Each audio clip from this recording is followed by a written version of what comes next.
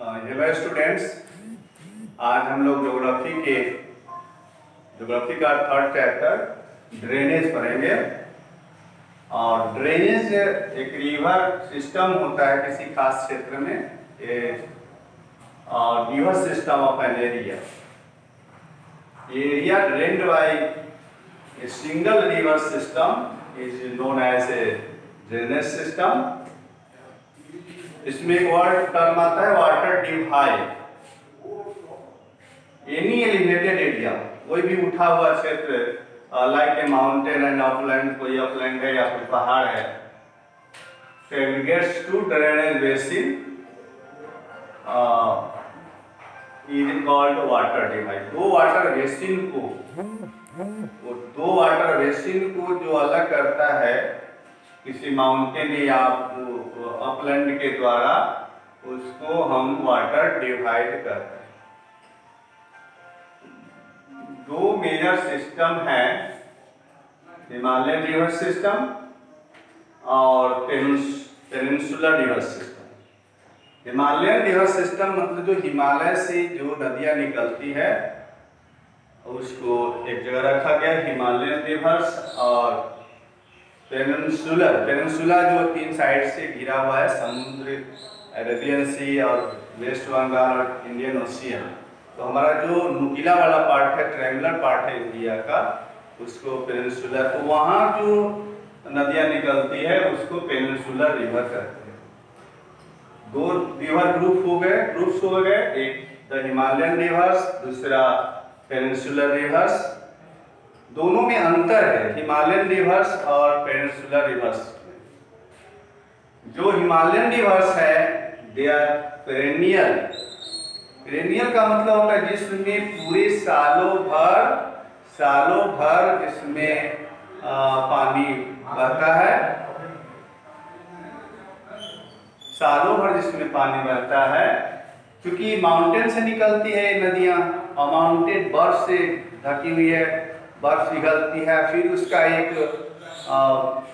वर्षा वाला क्षेत्र है, जल धारण क्षेत्र है, जहाँ जिसके कारण वह सालों भर पानी, उस नदियों में गंगा है जमुना है, इस समय पेरेनियल रिवर्स और जो दक्षिण की नदियाँ हैं, जो पेनिनसुलर पार्ट की नदियाँ हैं, वो सीजनल होती कम ऊंचाई वाले पहाड़ से निकली हुई है, कुछ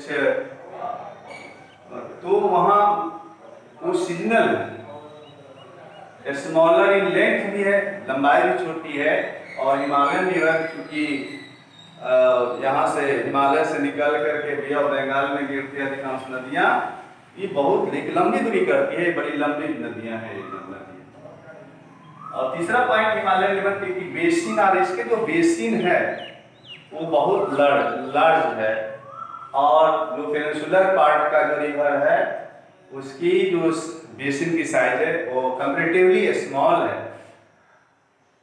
चौथा डिफरेंस जो है ये जो हिमालयन रिवर्स है क्योंकि इसमें सालों भर पानी रहता है तो इसमें ये नदियाँ इरिगेशन के लिए फिर नेविगेशन के लिए नेविगेशन समझते हो जिसमें नौकाएँ या शिप छोटे छोटे चल सकते हैं। और तो ये नेविगेशन और इरिगेशन दोनों के लिए फ्रूटफुल है यूजफुल है। जबकि पेनिसुलर रिवर्स में नेविगेशन नहीं हो सकता। इरिगेशन का भी खास यूज़ नहीं इरिगेशन में उसका कोई खास ज़्यादा यूज़ नहीं होता, क्योंकि सालों उसमें पानी रहता ही नहीं है। तो और नेविगेशन इसलिए नहीं हो सकता क्योंकि पठारी एरिया है। तो ये अंतर है इसमें। पांचवा, ये बड़े डीप गॉर्जेज जहाँ भी नदियों को जो सॉफ्ट रॉक मिलता है, वहाँ तोड़ देती है, नीचे की ओर। एक जोग्राफिकल स्ट्रक्चर बनाती है गॉर्जेस लेकिन पेनिनसुलर पार्ट की नदियाँ ऐसा कुछ नहीं करती और एक छिछले वैली में सैलो वैली से होकर गुजरती है, बहती है। इसका छठा अंतर है हिमालयन रिवर्स और पेनिनसुलर रिवर्स का। कि वर्ल्ड का ये लार्जेस्ट डेल्टा बनाती है। जैसे सुंदरवन डेल्टा गंगा सुंदरवन डेल्टा बनाती है। जो विश्व का सबसे बड़ा, अभी डेल्टा क्या है? डेल्टा, समुद्र में आप कचरा जो डालते हो, नदियाँ ले जाती है, जो सिल्ट ले जाती है, सैंड ले जाती है, वो उसमें इन नहीं करा पाती। क्योंकि डेंसिटी जो वाटर डेंसिटी जो सी की है, वह ज़्यादा है। तो ये नदी, वहाँ पर, मुहाने पर, जहाँ पर गिरती है समुद्र में, वहाँ पर जमा करती जाती है सीट और धीरे धीरे दोनों साइड से इसकी धारा बढ़ जाती है और बीच में एक लैंड पार्ट बन जाता है इसको डेल्टा करते हैं। इसकी आकृति चूँकि डेल्टा के आकार की होती है मैथमेटिकल एक साइन है डेल्टा तो उस तरह का निर्माण करती है। और लेकिन पेनिसुलर पार्ट की जो रिवर है, वह छोटे छोटे छोटे डेल्टाओं का निर्माण करती है। चूँकि तो ये सारे अंतर हैं। कल हम रिवर बेसिन के बारे में, जो तीन हिमालयन रिवर को तीन बेसिन पार्ट में बांटेंगे, Himalaya Indus Indus basin, Brahmaputra basin and